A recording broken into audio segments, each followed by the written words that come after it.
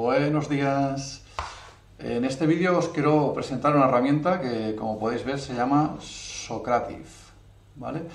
Esta herramienta es especialmente útil cuando estéis dando una formación o cuando hasta cuando estéis en remoto, digamos haciendo webinar o lo que sea, y queráis ah, lanzar preguntas sobre las que queréis feedback en tiempo real.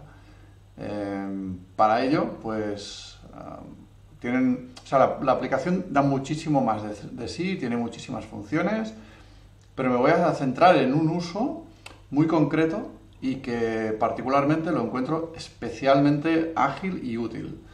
Ah, bueno, aquí veis la, la, herramienta, entramos en la página web, simplemente ahora yo ya me he loginado anteriormente, por lo tanto se me ha cargado súper rápido y ahora estoy en modo, digamos, profesor. Si os fijáis aquí arriba, hay un código, que este sería el código de la sala donde se tienen que conectar los estudiantes. Es decir, aquí a mano izquierda estoy haciendo de profesor, digamos, ¿vale? De tutor, de facilitador, da igual. Y a la derecha serían, pues digamos, los estudiantes, por llamarlos de alguna forma, ¿no? Mm, entonces ellos clican aquí en Student Login. Aquí simplemente escriben el nombre de la room, es decir, no necesitan ningún tipo de cuenta ni instalar nada. Yo ahora lo estoy haciendo en el PC, pero esto lo pueden hacer desde su móvil, súper sencillo. Pueden escoger eh, el, idioma con el que quieren trabajar.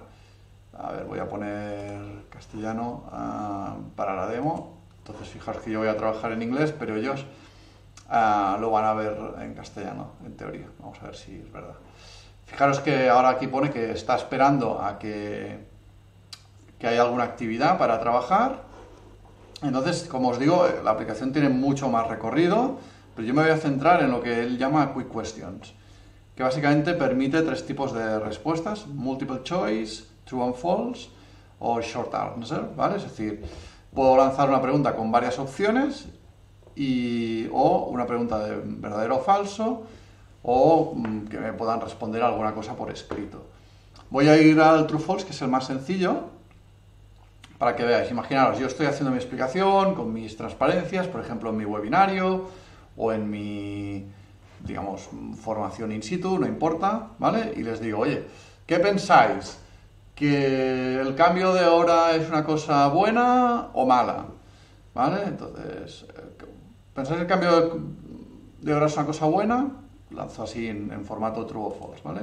Entonces, simplemente clico aquí, fijaros que instantáneamente a ellos ya se les ha cargado una pregunta donde dicen, ah, creo que el cambio de hora es bueno o es malo. Dicen, bueno, envían la respuesta, pum, y automáticamente, fijaros que sin que yo toque nada, aquí ya me ha dicho, de momento ha respondido un estudiante de uno y ah, todos han votado a favor de que el cambio de hora es bueno. ¿Qué es, ¿Qué es lo interesante? Que es súper ágil, es decir, yo no he tenido que escribir la pregunta, la he podido decir en voz alta y los, estudiantes se han centrado en la, respuesta, no en tener que leer nada. Por lo tanto, permite mucha agilidad en el lanzar preguntas y en recibir respuestas a estas, preguntas. Short answer, ¿vale? Pues aquí, si queréis, podríais escribir la pregunta en este caso, eso sí, o no, simplemente la dices y ellos la pueden, en este caso la voy a decir. Y ah, aquí pues permitiría que se hagan múltiples respuestas, si habilitara esto de aquí. O ah, puedo requerir que se identifiquen los estudiantes, porque una cosa chula es que esto es anónimo, ¿vale? Pero bueno, podría llegar a pedir que se identifiquen. Para ir rápido, pues simplemente le doy a Start, ¿vale? Entonces yo digo, pues, ah, ¿qué día de la semana es hoy? Pues yo qué sé, pues aquí ponen martes, ¿no? Y envía la respuesta y automáticamente me dice, ¿ves? Ha recibido una respuesta y la respuesta que de momento ha recibido es martes. Y aquí vería de forma acumulativa pues todo el resto de respuestas y si hay una respuesta que se duplica, pues también lo, lo vería. ¿no? Lo interesante, fijaros, es que yo solo hago un simple clic, ¡pum! y automáticamente se me lanza ya la posibilidad de responder. Por lo tanto, es muy interactivo a nivel de voz, ¿vale? Mm, o sea, yo puedo estar Mm, explicando, planteando situaciones donde espero un feedback y simplemente en un clic emito la posibilidad de recibir este feedback. Eh, en este caso, en las múltiples opciones, la he dejado para el final, porque siempre él emite seis posibles ah, opciones. Esto no, perdón, cinco posibles opciones, perdón. Eso no quiere decir que, que mi respuesta tenga seis posibles opciones. A lo mejor tiene tres y la D y la E pues las, las ignoro, ¿vale?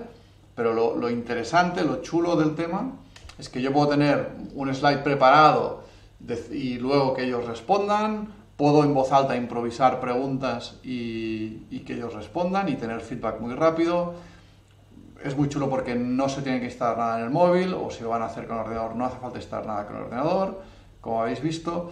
Y creo que es una combinación, como he repetido ya algunas veces en el vídeo, súper ágil y, que además tiene recorrido. Ahí en este vídeo no lo voy a enseñar porque no es el cometido, pero bueno, hay posibilidades de sofisticar muchísimo más uh, lo que he explicado.